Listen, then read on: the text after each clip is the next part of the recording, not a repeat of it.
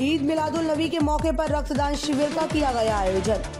अकलेरा कस्बे में ईद मिलादुल नबी मौके पर मुस्लिम समाज द्वारा विशाल रक्तदान शिविर का आयोजन किया गया, जिसमें हिंदू व मुस्लिम समाज की एकता देखने को मिली। ऐसे कठिन समय में डेंगू का प्रकोप के चलते रक्त मित्रों द्वारा बढ़ चढ़कर हिस्सा लिया। यह एक अच्छी शुरुआत अकलेरा में देखने को मिली है।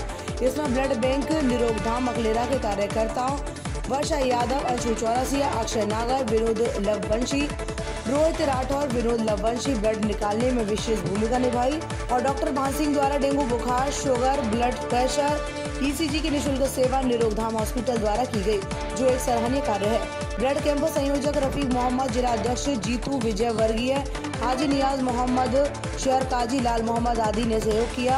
मंगलेश जैन का विशेष सहयोग रहा। डॉक्टर भान सिंह ने बताया कि इस पावन पर्व पर रक्त मित्रों द्वारा रक्तदान करना व निःशुल्क चिकित्सा सेवा देने के लिए निरोगधाम हॉस्पिटल और रक्त मित्रों का तहे दिल से स्वागत करता हूँ। ऐसे पूर्ण आयोजन करने के लिए आयोजन होना अति आवश्यक है।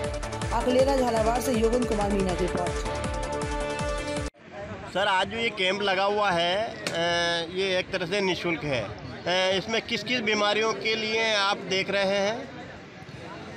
सबसे पहले तो इस कैंप के लिए बहुत धन्यवाद और ईद की लख लख बधाइयाँ सबके लिए।